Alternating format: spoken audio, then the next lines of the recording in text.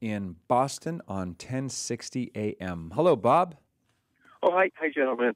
Um, I, I was with my sister over the weekend, and uh, she talked about a priest uh, from our, our parish who was doing a mass uh, outside the church, a wedding mass.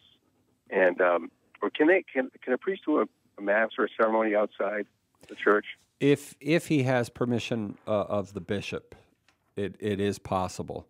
In fact, there are there are famous. Uh, oh, and we just got a note here in Helena, Montana. Helena, the Montana, bishop, the bishop has has has okayed it, and that that's the important principle. Is it it does have to have the permission of a bishop because the norm is for it. And, you know, it's a fitting norm, isn't it, Patrick? If you're going to be married in the Catholic Church, it's fitting that you're married in a Catholic church. The symbolism is obvious. But the church, you know, bishops can give.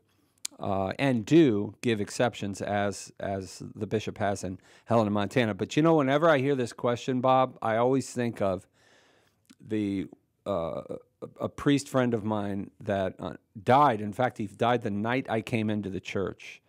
A an incredible priest. He had a a, a, a serious role to play in, in my conversion as well. His name was Father Kennedy, and he was at the time of his death the oldest man in the United States Army who was still jumping out of airplanes, and he was a hmm. priest, 101st Airborne. This man was phenomenal. Had a Purple Heart in Vietnam. All right, he was wounded because he was taking the Blessed Sacrament right out in, into the, the, the firing lines. But imagine this, Bob, right? You're out in combat. You can't hardly go to a church, right? He, he told me, Bob, that he has said Mass, he's concelebrated Mass in the Vatican, he has said Mass in cathedrals in numerous different churches and such, but he said the most sacred, holy moments of his life were saying Mass with a sheet stretched over the front hood of a Jeep.